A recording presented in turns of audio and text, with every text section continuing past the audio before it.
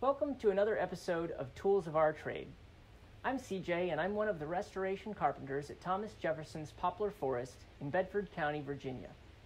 Join me as we discover some of the tools and techniques that were used to build Jefferson's Forest Retreat. Hi there, and welcome to another episode of Tools of Our Trade. What do Monticello, the University of Virginia, Poplar Forest, and these model Doric columns have in common? They're built on the foundations of classical architecture, and that's what we're going to talk a little bit about today.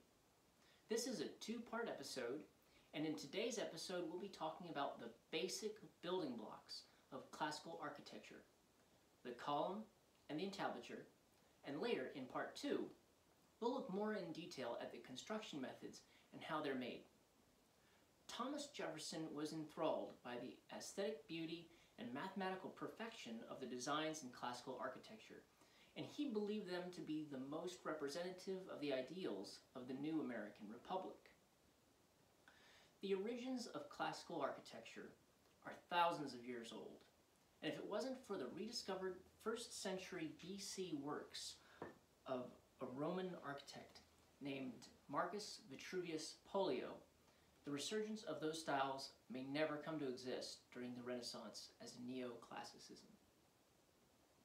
Though Vitruvius's books were well known by the late 18th century, Jefferson found his inspiration in the designs of Andrea Palladio's Four Books of Architecture, even calling it his Bible. All right, enough of that. Let's take a look at this model here.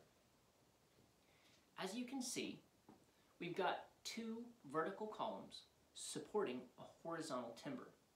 If you're at all familiar with construction styles, you might recognize this as a basic post and beam structure. This is the fundamental element in classical architecture. In fact, the Greek translation for architect is chief builder, chief from the Greek arche, and builder from tecton. And this timber here across the top of the columns is called the architrave, meaning chief beam. This chief beam distributes the load of the superior elements down through the columns and into the foundation. In ancient construction, the rafters, the roof, and gutters would be placed on top of this. Over time, these parts of the building that modern builders might consider as part of the soffit, the fascia, and the rafter tails would be ornamented especially for large temples and places of cultural importance. This ornamentation and design would continue to develop into interior elements as well, notably as decorative molding around doors and windows. In the next episode, we'll learn more about interior architraves and how they were designed and constructed for Thomas Jefferson's poplar forest.